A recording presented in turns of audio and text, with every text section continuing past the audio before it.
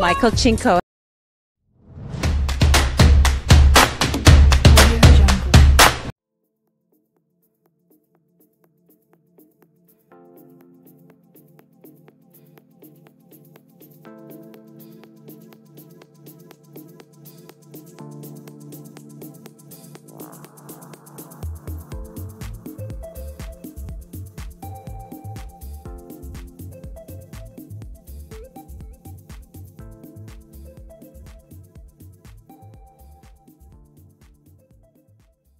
So I just want to address the feud that recently transpired between my team, MG Mode and Michael Cinco. Unfortunately, I've been made to be involved, so I just want to clarify a few things. This really hurts me because I have nothing but love for both parties. They have both helped me in ways that I can't even count. So every day I do count my blessings because of these two people. MG Mode, or I guess three, because MG Mode is two people, and Michael Cinco. Michael, I have nothing but love and gratitude towards you. You have created the most beautiful gown I could even think of.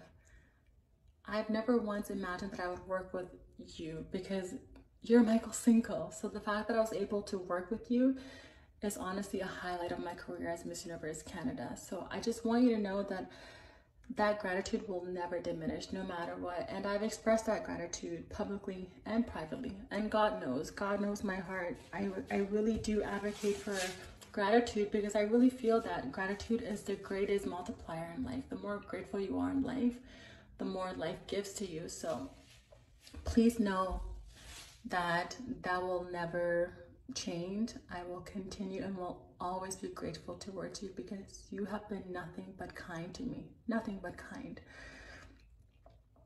Yeah, this this really breaks my heart because I love you both so much and you both helped me in many ways that I can even imagine. MG mode, you guys know that I love you so so much. You have made my dream of meeting my family a reality along with Ethiopian Airlines and the Miss Universe Canada organization. So just to have these two highlights of my career be attached to such negativity is what I don't like. I don't like that at all because I want to look back and think, wow, I've worked with Michael Cinco, the Michael Cinco, and wow, I met my family.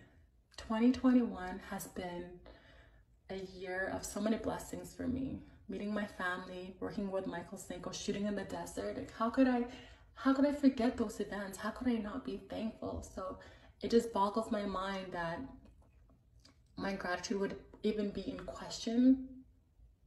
Anyone knows anytime I talk about my gowns and these three individual actually, I always express nothing but thanks because they have all been so great to me.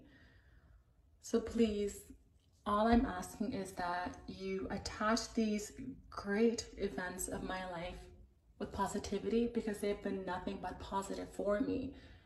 Working with Michael Cinco, that's a once in a lifetime. Not everyone gets that opportunity. And I will forever be grateful. And seeing my family, all this happened during a pandemic, and all of this happened because of Miss Universe Canada and MG Mode and Ethiopian Airlines. So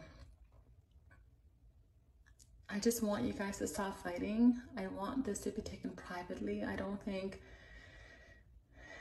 you are both deserving of this. It's it's not fair to all of your hard work. I don't I want to question any of your integrities because I stand behind the three of you. I think you are all great individuals and I just I just want that to be the last thing to remember. Is like wow Michael's amazing. Wow Keen are amazing. That's all I want because you are amazing individuals. So for all of you online please don't don't give into the drama. It's not worth it. Let's not let's not spread more negativity. Let's just spread love. It's it's so draining and i'm sad that i have to stop what i'm doing and and address this i just want to take a few minutes away from social media and just reflect on life and just you know figure out what my next move are and just be with my friends and family, but I'm unable to do that because I have to address this. And it's not fair. It's not fair to anyone. It's not fair to any of anyone involved that they have to stop what they're doing and get into this negativity. This is devil's work. I don't think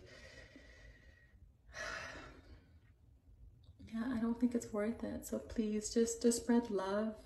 Um, don't give in. Let's have the last memories be of nothing but love and kindness.